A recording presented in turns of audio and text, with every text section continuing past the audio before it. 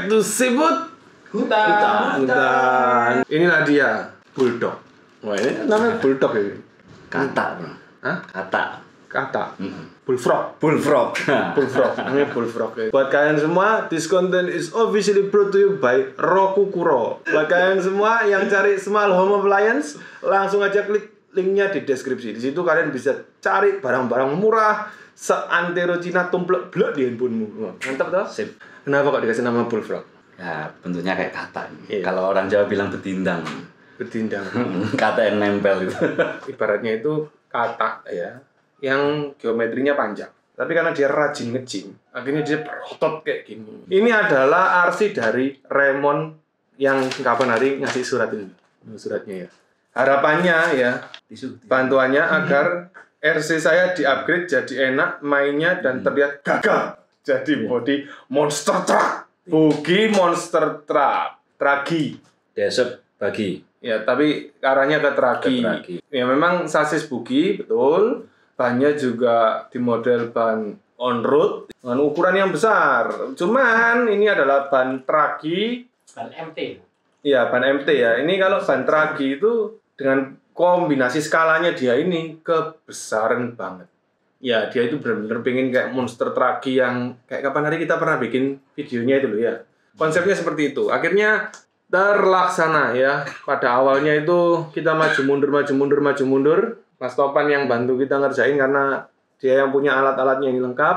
Kita berkolaborasi dan seperti ini yang bisa kita lihat. Ngomongin bullfrog ya. Gimana Mas eh, proses terjadinya kelahiran bullfrog eh, sebagai Anda dokter kandungannya yang membantu melahirkan segmen bullfrog ini ya, mantri ya. Mantri ya. Apa apa kendalanya Mas? Kalau mungkin teman-teman pengen lihat itu loh. Nah, kendala. Kendala pertama adalah Tidak ada kendala ya? Hah? Ada lah. Ada lah. Jadi kendala pertama ketika ban ini dijadiin besar yaitu sudut steering terkena sasis. Ya, sudut, Nah, sudut, sudut, sudut steering. sudut, sudut steering itu ini Steering, guys. ya, Ya, betul ini. ya. Itu terkena Ini sasis. terkena Nah, sasis. supaya nggak terkena sasis, bagaimana? Jadi ditambahin extension eh, ini berapa ya? 10 mili ya. 10 mili, ini extensionnya. Extension Jadi kalau 10 kalian lihat mili. 15 ya? extension ini Hmm. 10 mili, 10 mili. 10 ya. 10 mili. Punyanya RC Super 10. 10 mili. mili. Yang yang kontrak luar dalam itu. Cuman Terus? satu lagi, ketika kita pakai extension 10 mili ini kan peruntukannya untuk seper 10. Jadi lubang di tengahnya itu harusnya dia 5 mili. Hmm. Nah, sedangkan axle yang uh, dipakai ini yaitu axle-nya untuk yang mini ya. Jadi lebih kecil dia di- diameternya 4 mili. Lalu dratnya adalah M3, drat M3, drat 3 mili. Yang harusnya dratnya 4 mili. Itu saya buatkan di dalamnya itu seperti selongsong ya supaya dia sesuai dengan diameter axle-nya 4 mili. Untuk ini uh, baut pengencangnya itu custom Hmm. custom bro. Jadi dibuatin dari baut, lalu Baut dilubangin L ya? baut L, ah, baut ini hex ya, hex. Baut, Ini baut L yang ukurannya itu kalau ukurannya salah- M6. M6 ya. M6 ah, supaya diameter di dalamnya itu bisa masuk ya. Betul. M6 itu kan punya diameter lebih kurang di 4 mili. Terus M6-nya itu dibor lagi tengahnya, terus baru itu di drat ulang Di atau ulang, ah. Supaya dia dia dia, dia masuk ngunci ke dalamnya sini. Prakarya itu ya. Prakarya. Prakarya. Prakarya. Itu aja sih anu kendalanya ya. Nah, setelah ban ini melebar, sobatku ya, kamu bisa lihat ini RC ini di setup untuk skoknya ya. Jadi skoknya itu kita benerin semua ya. Olinya juga udah dibenerin. Terus beberapa metal part yang tadinya sobat Raymond tidak bisa pasang kita berusaha untuk pasang dan itu masuk ke sebuah pintu gerbang. Masalah kedua. Masalah kedua ada di traksi. Kenapa kok ada di traksi? Karena bannya dia yang asli itu punya ukuran yang cukup menarik ya. Buat kalian semua, kita nggak pakai penggaris. Ini ukuran bakpia patok. Ya, ini ukuran bakpia patok. Diganti dengan ukuran Pak Pau. a- anu uh, danting donat, danting donat. Ya, jadi roti bolu. roti boy. jadi jelas ini terjadi masalah. Kenapa? Karena kombonya dia ya, kombonya bullfrog ini ya, waktu dia sebelum ikut fitness. Kombonya itu untuk Bakpia Pato. Sekarang diganti donat Jeko. Bukan donat Jeko, ini lebih tepatnya roti boy. Roti boy. Roti boy ya. Jadi terjadi banyak masalah di situ ya. Masalah gerbang kedua ini adalah traksi. Ya, traksi itu apa masalahnya? Bukankah akan semakin baik?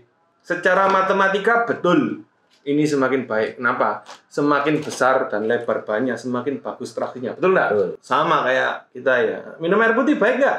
Baik. Ya, kalau kita kebanyakan minum air putih, serangan jantung Nah, langsung ya. iya. Ya ini roti boy kebesaran, nggak bisa gitu loh. Akhirnya dia batuk-batuk. Batuk-batuk. Ya, karena traksi itu tadi dia batuk-batuk. Bukan bercanda, batuk itu maksudnya koking ya. Oke. Kenapa kok koking ya? Karena putarannya berubah, traksinya berubah. Akhirnya momentum dari dinamonya juga berubah dan akhirnya kalau digas itu gitu. Terus karena traksinya ini baik, RC-nya ngebut nggak? Ngebut, ngebut, sampai wili-wili ya. Tapi karena traksinya ini terlalu bagus, gigitannya ini terlalu dapat gripnya, ya dinamo bullfrog tewas seketika. Tewas, Be- Begitu juga ESC-nya. Iya. Enggak, ya lebih tepatnya lebih tepatnya kayaknya itu ngap gitu ya. Gitu akhirnya oke, give up. Ya. Di masalah itu kita berdua memutuskan untuk ganti Kombonya. kombonya pakai quick run ya. Quick Ya. run berapa nih? Quick Run 10 BL60. 10 BR60 terus pakai motor Motor non brand ya. Cuman kafenya yang sebelumnya itu 4.300 tapi Hmm. kecil motornya. Ini diganti yang tipe 540. Hmm. Kafenya rendah jadi 3.300 kafe. Yang ukuran motor standarnya 3650 ya? Standarnya enggak kecil. 26 26. ah, Enggak, kecil. kalau yang ini pakai 3650 ukuran. Ini 3650 Ya, setara jadi- 540. Jadi ada penggantian apa? Eh, mon monnya. motor Betul. mon. Jadi untuk kali ini karena masalah kedua itu si bullfrog ini diganti dengan bahasanya yang paling gampang itu combo seper 10 ya. Jadi combo seper 10 itu ukurannya dia lebih besar. Oleh karena itu dan sebab itu motor mountnya tangkringannya motor ini perlu diganti yang lebih besar ya. Kenapa ya? Karena memang takdirnya demikian. Bisa nggak ini sebenarnya dibongkar, dibubut? Semestinya bisa. Tapi kita juga nggak tahu ya jarak antara A kita mesti mengukur dan yang kedua tercipta untuk tidak terpisah. Betul. Saya nggak tahu siapa yang ngelok tadi. Kayaknya dari dari Mas Topan telepon malam-malam, ngelok nggak bisa dibuka. ya, ya sudah karena memang mau ganti ya dan buat kalian semua memang besarin ini tuh kelihatannya itu nggak resiko kelihatannya nggak resiko. Tapi itu resikonya besar banget kalau dipasang miring nanti dinamonya bisa panas. Dan itu nggak mahal akhirnya kita ganti.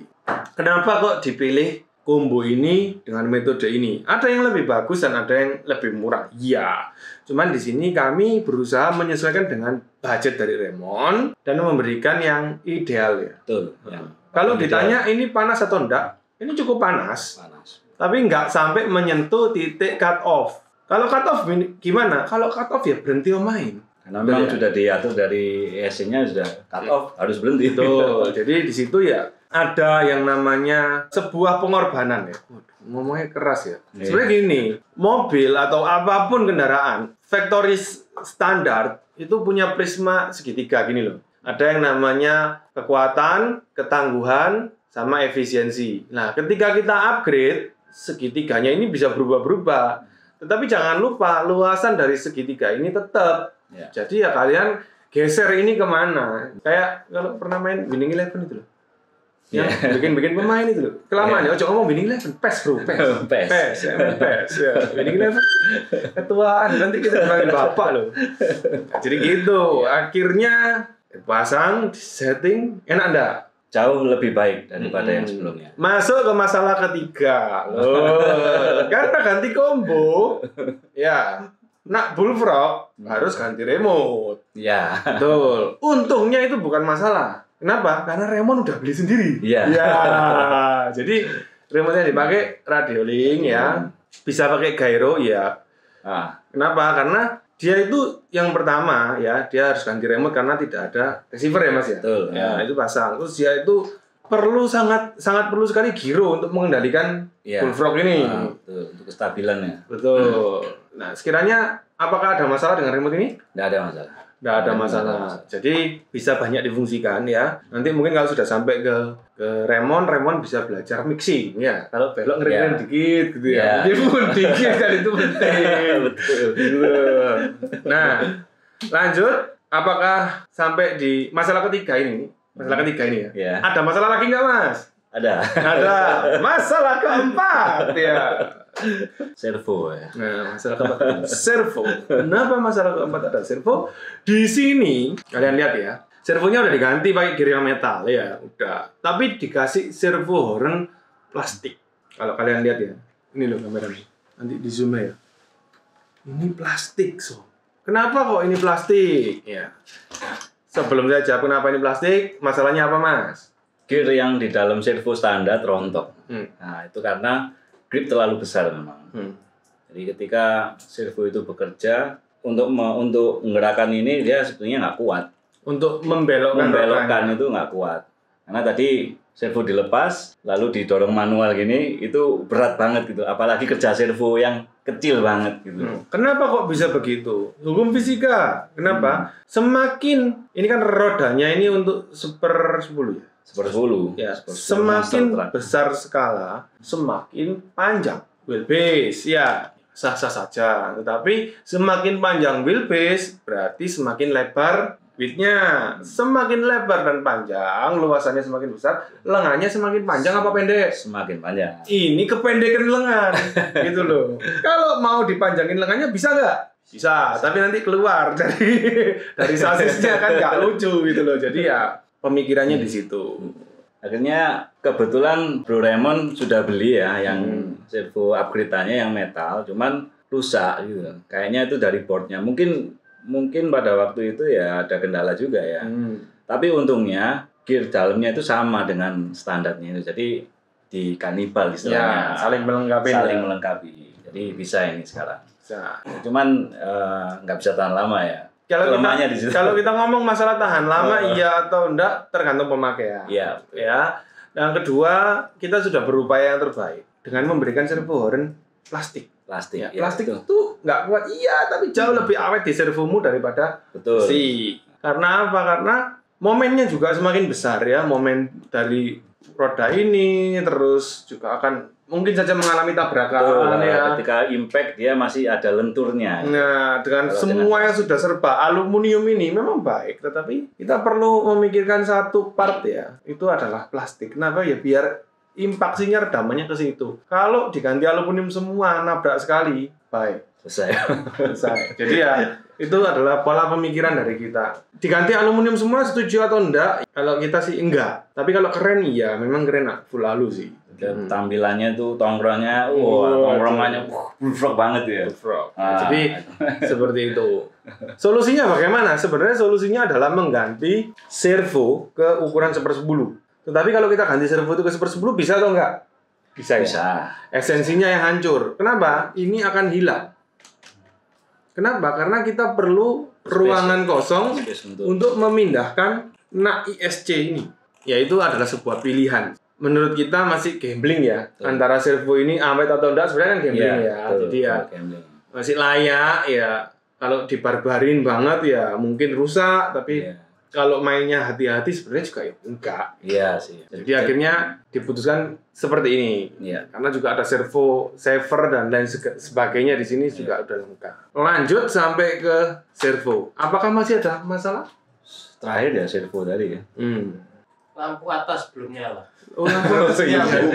Loh, lampu atas di mana ini? Oh Wah, ya nanti dicarikan, nanti dibuat. carikan power ya. Powernya. Itu bukan masalah mas teknis itu. Masalah terakhir adalah braking. Iya. Nah, breakingnya Ya, itu agak ngelos. Kenapa breakingnya agak ngelos? Ya karena ini bukan sensoret. Itu yang pertama. Yang kedua, menurut Mas Hafid, rasionya dia ini itu eh, speed banget gitu loh. Jadi kayak flywheel overlap lah. Jadi istilahnya itu masih ada tenaga yang tersalurkan lagi. Jadi ibaratnya itu kalau kita bergerak gini ya, dia itu cepet. Jadi begitu diberhentiin itu nggak gini, tapi masih ada seng gitu loh, baru berhenti. Itu juga udah kita program di program cut ya, untuk udah- menyiasati udah ini. dimaksimalkan 100%. Ya, tapi ya masih ada, Masih ada. selongnya Ah. sedikit. Jadi ya harus hati-hati. Pengereman harus dari jarak yang cukup jauh. Bisa sembuhin nggak ini? Bisa, tetapi harus ganti uh, brushless anu ya, apa namanya? sensoret Sensor. yang pakai motor yang umumnya rendah mungkin mungkinan bisa. seperti itu. Nah, dengan asumsi yang Mas Hafiz tadi benar banget ya, menggunakan motor yang kafenya rendah. Tapi juga kita harus sadar ya, Iya. brushless kafe rendah itu mehong, boy. Yang meh. Iya. Ketawa dia. Apalagi embel-embelnya sensoret kafe Hmm, rendah. aduh. Oh, rasanya itu, boy. Ah, sedap. Jadi gitu. Agak sakit sariawannya. Iya. Kamu mendadak sariawan enggak gitu? Iya, ya, semuanya sakit. gitu. Termasuk lengan saya sakit. Oke, jadi itulah dia ya buat kalian semua yang baru nonton. Pastiin kalian subscribe ya. Nyalain lonceng biar nggak ketinggalan update-nya. Leave a comment for everything you want to ask. Sebelum kita tutup, kita nyalain dulu. Tapi nggak kita coba di luar ya, karena sayang bro kalau nabrak. kita kan angkat dia gitu. Oke. Remote-nya nyala, Oke, nyala. nomornya on ya. Oke. Nah. Sebentar. Oke. Awas. Aduh, aduh, aduh, aduh. Hati-hati.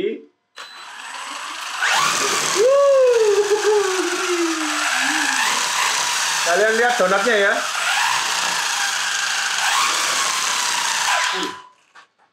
Coba full. Hah? Full ya? Full ya? Ya. Oke. Tahan sih kuat. Enggak, yang tahan yang kuat. Iya. Oke, satu, dua, tiga, full.